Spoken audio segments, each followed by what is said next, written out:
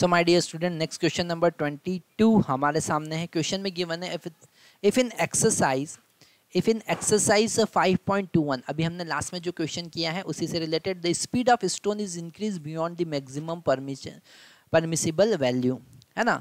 अगर उसका टेंशन उसका स्पीड जो हमने मैक्सिमम 34 फोर फाइंड किया था मीटर पर सेकेंड, उससे ज़्यादा अगर स्पीड हो जाएगा तो वो सडनली ब्रेक हो जाएगा स्ट्रिंग, ठीक है? तो हम यहाँ पर इसको डायग्राम की हेल्प से समझते हैं, है ना? अगर यहाँ पर, अगर यहाँ पर ये हॉरिजॉन्टल सर्कल में हमारा स्टोन गोल घूम रहा है है ना? हॉरिजॉन्टल सर्कल में घूम रहा है और किसी इंस्टेंट पे मान लेते वो यहाँ पर था।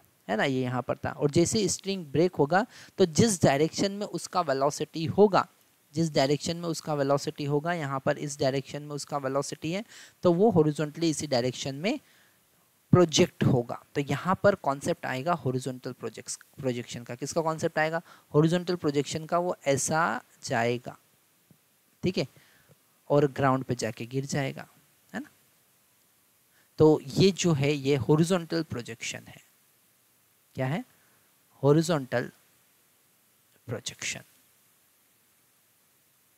हॉरिजॉन्टल प्रोजेक्शन तो अब हम ऑप्शन पढ़ते हैं क्वेश्चन में क्या गिवन है? फ़र्स्ट पार्ट हम देख रहे हैं the stone move radially outward बिल्कुल गलत बात है स्टोन आउटवर्ड मूव नहीं करेगा है ना? ये गलत बात है। बी uh, पार्ट हम देखते हैं stone fly off tangentially from the instant when string break बिल्कुल सही बात है। ठीक है, वो टेंजेंशियली मूव करेगा और ऐसा पैराबोलिक पाथ पे मूव करेगा। सी वाला पार्ट देखते हैं।